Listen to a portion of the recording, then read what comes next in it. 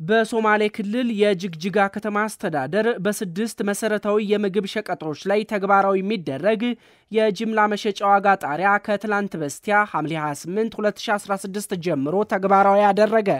በዚህ መሰረት በከተማዋ ባለፈው አንድ ሳምንት ወደ 4000 ብር ገደማ አሻቅቦ የነበረው 20 ሊትር ዘይት ከ2800 ብር በላይ እንዳይሸጥ የዋጋ ተመን ወጥቶለታል። የጅግጅጋ ከተማ አስተዳደር ከሶማሌ ክልል የንግድና ትራንስፖርት ቢሮ ጋር በጋራ በመሆን ከትላንት በስቲያ ያደረጉት የዋጋ ዝርዝር ከዘይት በተጨማሪ የሩዝ፣ ፓስታ፣ ስኳር፣ መኮረኒና ዱቄት የምግብ ሸቀጦችን የሚመለከት ነው። ሁለቱ አካላት ከዚህ ውሳኔ ላይ የደረሱት የውጭ ምንዛሬ ተመን ስርዓት በገበያ እንዲመራ ከተወሰነበት ካለፈው ሳምንት ሰኞ ጀምሮ በምግብ ሸቀጦች ላይ የዋጋ ጭማሪ በመስተዋሉ ነው ተብሏል።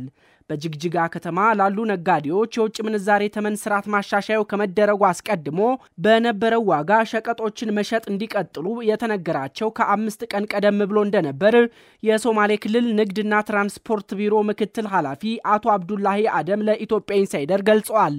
ሆኖም ቢሮ ከቀናት በኋላ በገበያው ላይ ባደረገው ጥናት በምግብ ሸቀጦች ላይ ከ150 እስከ 500 ብር የደረሰ ጭማሪ መደረጉን እንደደረሰበት ምክትል ኃላፊው ጠቁመዋል።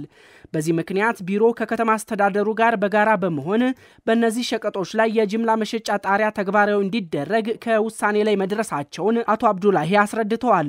የዋጋ ጣሪያው የሚመለከታቸው ሸቀጦች በውጭ ምንዛሬ ተመን ስርዓት ላይ ለውጥ ከመደረጉ በፊት ወደ ሀገር ውስጥ የገቡትን እንደሆነም አብራርተዋል። ከትላንት በስቲያ ጀምሮ ተግባራዊ መደረግ በጀመረው የዋጋ ጣሪያ መሰረት በጅግጅጋ ከተማ አምስት ሊትር የምግብ ዘይት መሸጥ የሚቻለው እስከ 800 ብር ባለው ዋጋ ነው። ባለ 20 ሊትር የምግብ ዘይት ዋጋም 2800 ብር የመሸጫ ጣሪያ ተቀምጦለታል።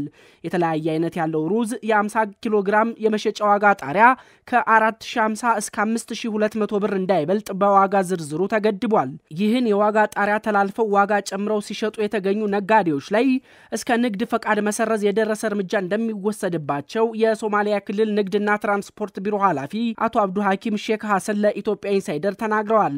እርሳቸው ይህን ቢሉም በጅግጅጋ ደገሃቡርና ቀብሪ ዳሃር ከተሞች ባለፈው አንድ ሳምንት የዋጋ ጭማሪ አድርገው ሲሸጡ በመገኘታቸው ተዘግተው የነበሩ 57 የጅምላ ንግድ መሸጫዎች ከትላንት በስቲያ እንዲከፈቱ ተደርገዋል።